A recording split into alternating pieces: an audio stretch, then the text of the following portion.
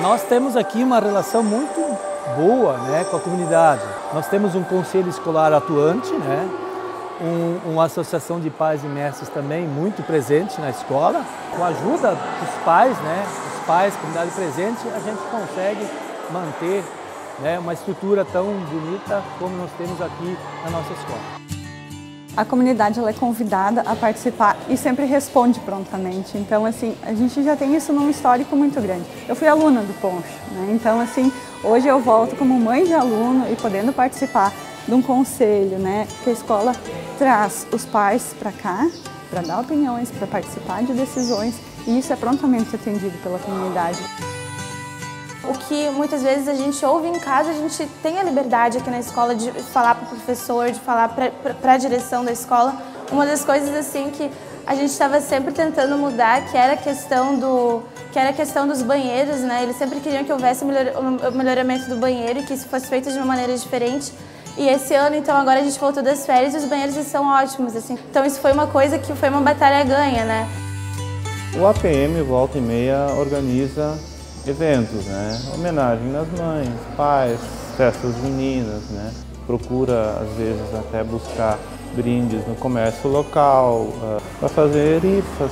Nós vamos reformar os banheiros como foi feito agora. Né? Fa uh, faz a promoção, organiza o evento, né? executa a melhoria, a obra e depois mostra para a comunidade. A gente faz muita coisa aqui na escola, a gente faz a merenda com muito amor e carinho, que os alunos adoram, né? A gente faz a massa caseira, a gente tem a padaria ali atrás a gente faz o pão, faz as cucas. A gente está sempre junto, sempre fazendo para servir bem os nossos alunos, porque eles são o motivo de nós estarmos aqui.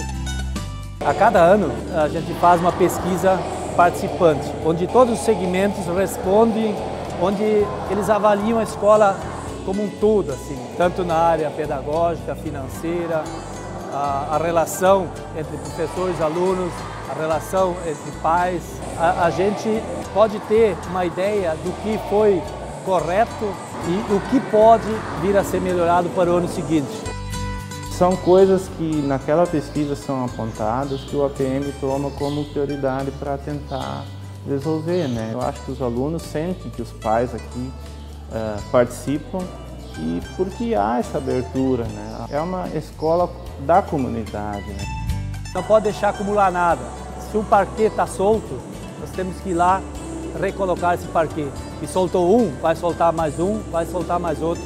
Isso é uma, uma bola de neve. Então, nós temos que diariamente cuidar do patrimônio público.